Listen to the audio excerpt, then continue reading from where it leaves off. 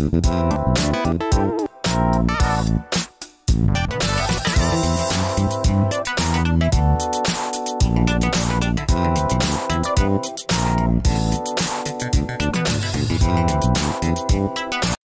everybody, Belinda here, welcome back. Right, so we're going to go with a splash pour again. This is a 12 by 16 inch canvas and um, I'm going to try get kind of like a glossy effect um, with my paints. So we'll get into that in a minute. I'm going to go ahead and cover my canvas and I'll see you in a bit.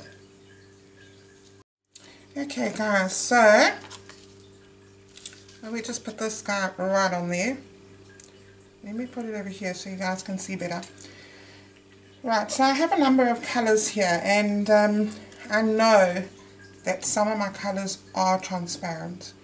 So, I have cyan blue. And again guys I'm just going to layer. Well not layer because the, technically the paint is a bit too thin to actually layer. And I have red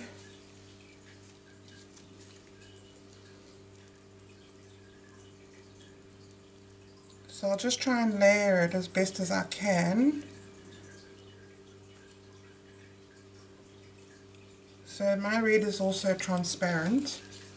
I'm going to put up a video on uh, the members site soon just to show how you can change your transparent paint to opaque or semi-opaque.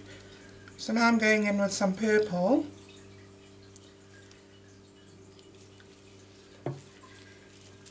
and I have some turquoise And I'm trying not to use too much paint because um, I do want some white negative space. And then I have um, metallic Deco Art Gold and I have actually thinned this already down because there, there wasn't much left in here. So I don't want a lot of the gold because that is not transparent. And then I'll go in with a bit more blue, which might even make that a bit green.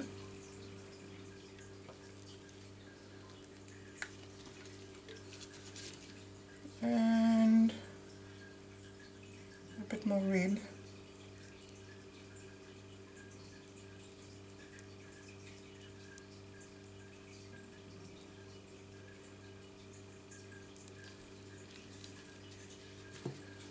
And then I'm going to use some purple and I won't be using any more turquoise. Ooh, these colours are actually looking really good. Okay, let's just um, move all of that out of the way. Want any accidents. we know how easily that happens with me. Okay. now, here's my stirrer.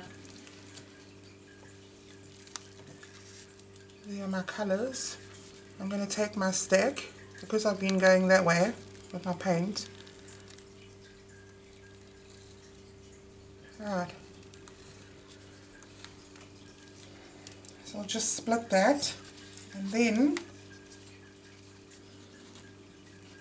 let's do this. So what I'm going to try and do is um,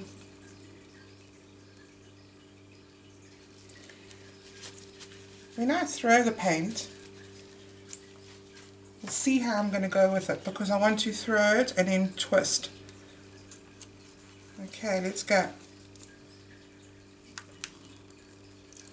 Didn't quite uh, twist it in the middle because I wanted it twisted in the middle.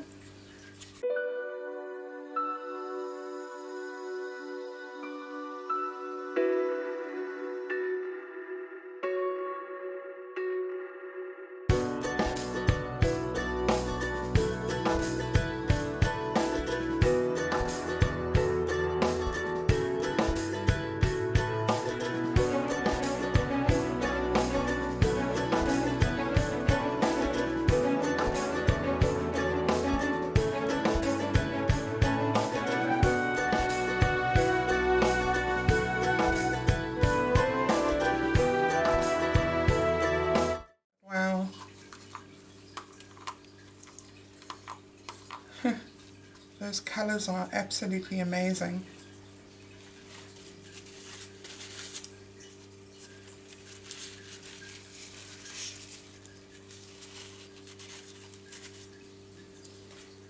I'm not happy about that there. You can see the bubbles are coming up. The gold obviously is shimmering beautifully.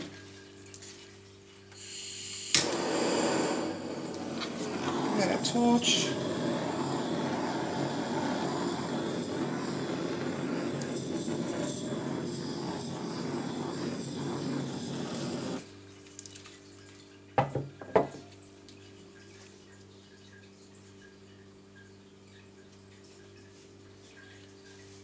And those are popping up really well, really nicely. So I do still have paint left in my cup. Not sure yet if I'm going to need it, but I want to try and get rid of that, I think. So let's start moving the paint around.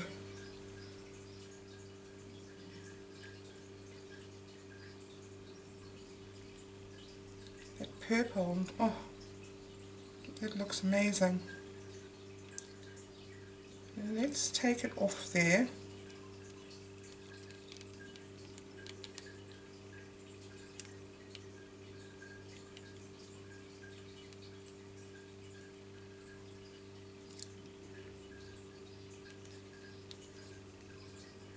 Try not to get that end off.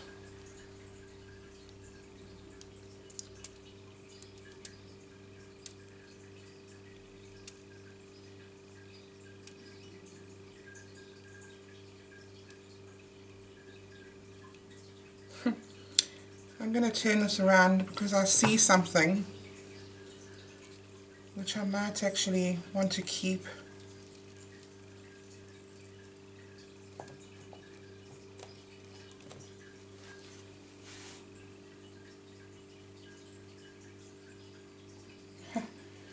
Yeah, this is pretty cool.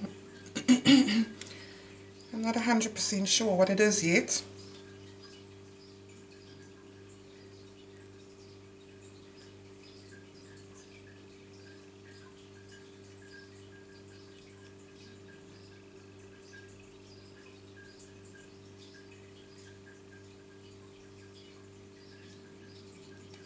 Okay guys, I'm going to um,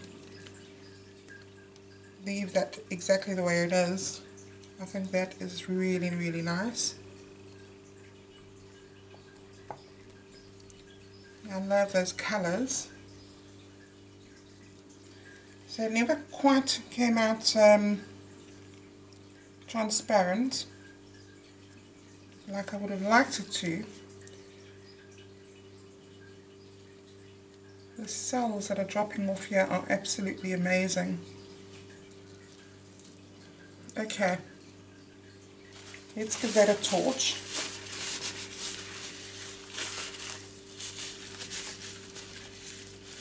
I can still see some cells are popping up.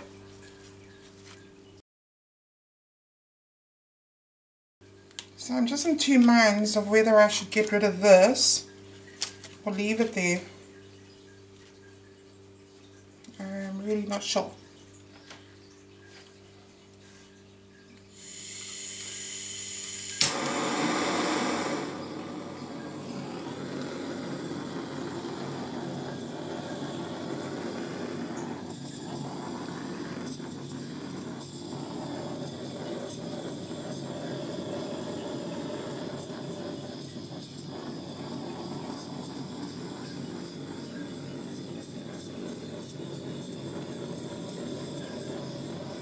Lots of bubbles guys because I've just mixed up most of my paint. Well, maybe you can tell me in the comments what it looks like. I'm going to bring you down for a close-up. Just make sure my, cover, my corners are covered properly.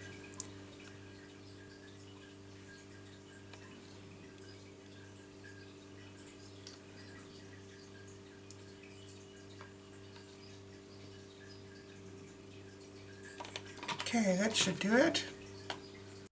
Okay guys, I'm going to show you first from this angle.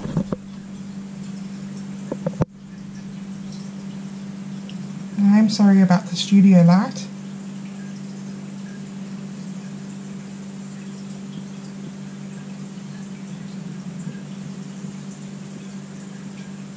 All those beautiful red cells there.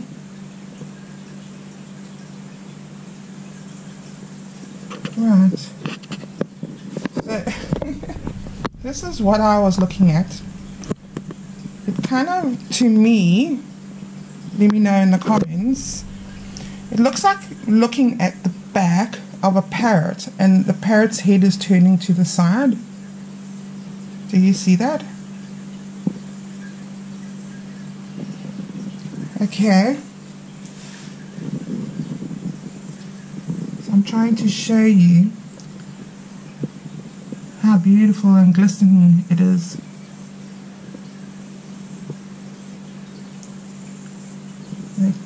obviously sparkling very very much.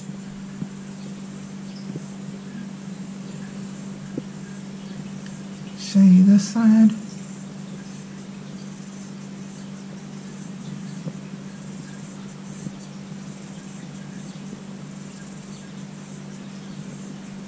Okay, I'll put the light off and hopefully you'll be able to see something. Let's see. Sadly, you can't see it glisten.